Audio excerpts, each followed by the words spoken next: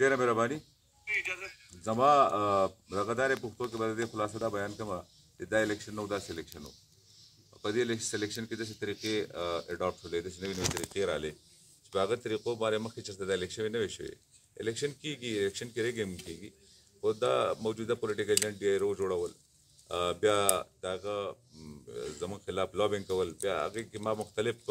چینلز ته نواز شریف ته هغه ته گورنر ته ځان رسول خو په هغه باندې چا غوږ نه کراو دا سړی چا کې نه ولې ډېر مضبوط او هغه چا چې کې نه ولې دا دغه په لاس کې کلونه و نو هغه چې دا څه وکړل د چا کریمینل ریکارډ او د چا چې دښمنو سره ریکارډ او د چا سره پټی لانجه و د چا سره بل په چرته په د طالب لانجه و یا څه بل لانجه کړی و هغه یې ټول بلیک میل کړي وو، د شپې به یې را غوښتل، هغوی ته به یې ویل چې ګوره دلته ووټ ورنه کړئ، کمپاین به یې چلاوه، باقاعده زر درېو کال نه تاسو که زما د سوشل میډیا ګورئ، پریس نه ما ګورئ، زه همدا خبره کوم، په الکټرونیک میډیا، په غټ غټ ټي وي چینلز باندې ما دا خبرې کړي چې دا سړی لرې کړئ، ما خو تاسو ته وویل چې د درېو کال مسله ده، تاسو ګواه یئ ددې خبرې، خو هغه بیا هم دلته ناست و، نو د دې لپاره ناست و چې دلته څه خاص مقصد لپاره کیناستلی و، هغه مقصد الکشن و، بله غټه خبره دا وه چې الکشن، ما به بار بار دا خبره چې الکشن را روان دی. نو هغه الیکشن کې چې هغه څه وکړل هغه ټول تاسو مخې ته دي هغه ما دوه وخته په اردو کې خبرې وکړې هغه به تاسو اورېدلې دا کاغذونه مغه کاغذونه چې زما نوم پکې نشته زه کینډیډیټ یم زما دا دا دا فارم 45 ته په دې کې دستخط نشته دی ګوته پې نشته دی په دې کې دا وګوره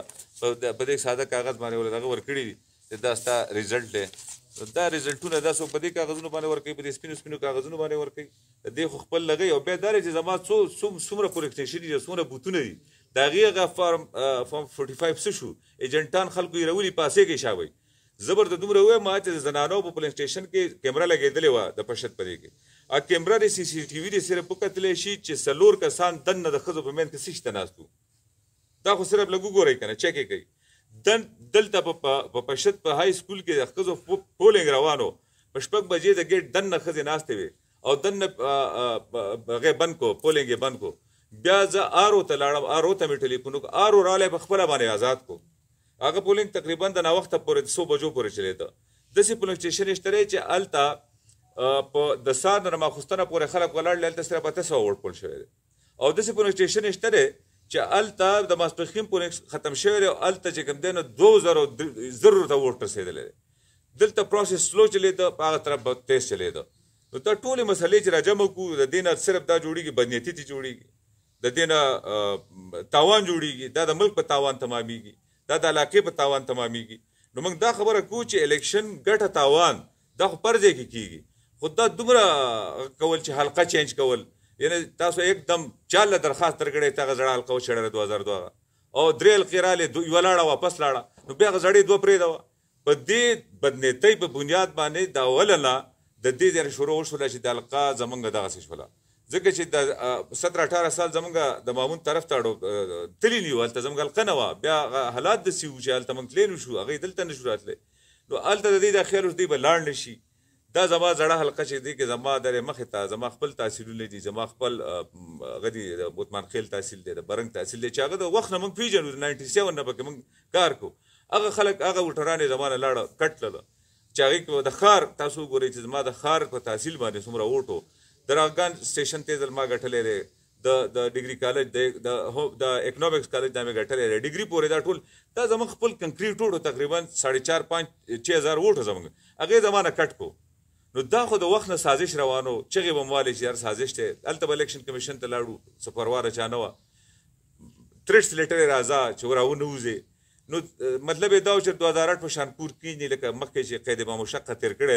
پنځه کاله کای دی به مشقت داو چې دا کمپاوند او راکټ پمپ وګو کله دسه منډه وکړه دسه بیا په کې بعضې دسه الزامونه ولګېدل چې را تاسو سره موږ د گزاره کو د الزامونه نو د الزامونه موږ باندې 2002 نه لګي 2001 نه لګي کله چې موږ د اف سي ار او د پولیټیکل جن خلاف را پاسې دي الزام یا جیل دا د سیاسي سړي د لپاره یو یو میډل لې او دا مډل الحمدلله په دې کې موږ جنازه اوچته کړې ده د خپل رور یو رور جنازه هم پکې اوچته کړې ما پکې په خپله قید خوړلی ما پکې په خپله دې ته هم تیار و چې ما ته پکې پانسي هم میلاو شي خو دا دمکیانې بیا په لار کې بمونه ایښودل دا څوک دي چې ما ته ترېټ هم و زما ریلي هم روانه وه په لار باندې موږ ته کلیرنس هم میلاو شو بیا هم بم ایښودلی کېږي او ما خل چې زما زوی دی دغه په جلسه کې په هغه کې خو ځای شوی و هغه ځای پته راته نشته چې کوم ځای ګوهاټي کې زما د زوی په جلسه کې بمونه په ملنګي کې بمونه راو ملنګي سوري ملنګي کې بمونه راو ختم یعنی موږ څه کومه لوبه ونه شوله خو دا وایم که موږ شهیدان هم شو په دې خوره دا زمونږ خوره ده زما نیکه په دې خوره شهید شوی دی زما د نیکه پلار په دې خوره شهید شوی دی نو که موږ زما رور دی پرون شهید شوی دی او که موږ په دې خوره باندې نه توی شي نو دا څه کمه نه ده خو دا دې ته د قربانۍ نوم دې څوک نه ورکوي چې دا موږ قرباني ورکو